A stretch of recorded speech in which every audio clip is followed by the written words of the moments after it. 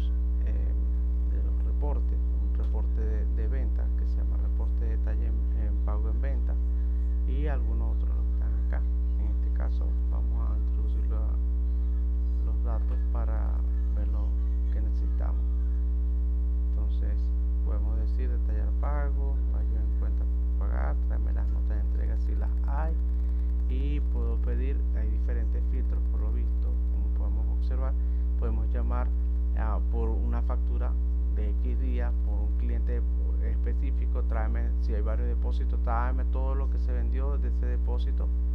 un solo vendedor, todo lo que vendió él, un documento específico o todo lo que vendió, todo lo que está sobre un usuario.